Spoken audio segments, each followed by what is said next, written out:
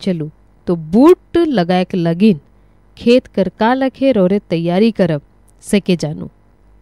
अगायत खरीफ फसिल और धान कर कटनी कर पाछे, खेत कर तैयारी में किसान भाई बहन मन के लाइक जाए चाहिए भाई, समय के तो बर्बाद नहीं करे चाहिए सेहे लगिन, खेत के दो तीन धाव जोत के उकर में पाटा चला देवें।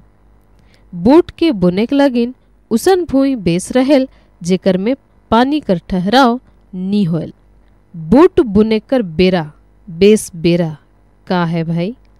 बूट बुने कर सबसे बेस बेरा है, अक्टूबर कर दोसर हफ़्ता और नवंबर कर दोसर हफ़्ता। इकर बिहिन कर दर का लखे रहे।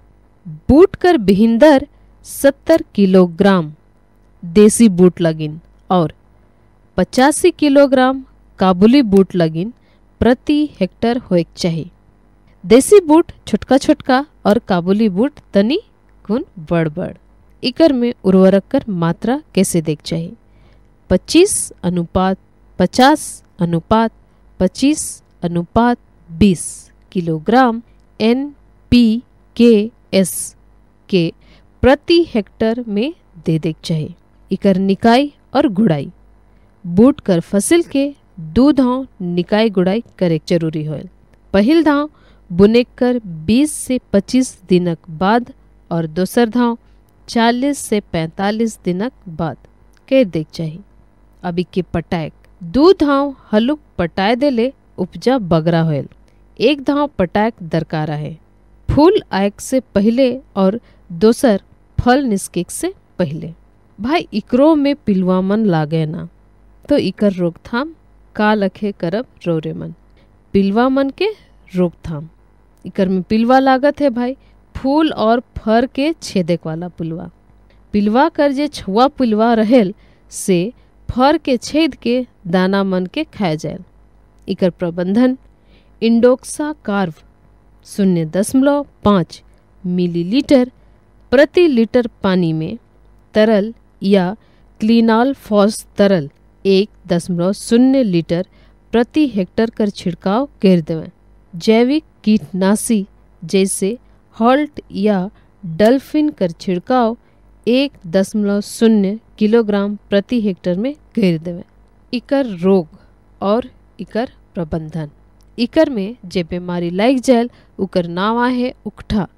इकर से पौधा पियर होए लागेल और ऊपरे से हेठे बट ले पतई सूख जाए आखिर में गोटेक पौधा सूख के मर जाए प्रबंधन।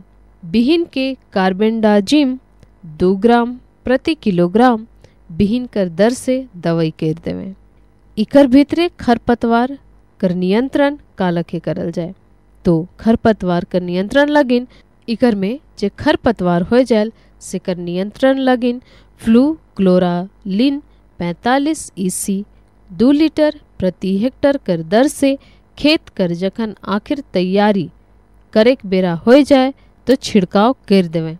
या कि एला क्लोर 50 ईसी टू जी प्रति हेक्टर कर दर से बुइन के एक या दो दिनक बादे छिड़काव कर देवें।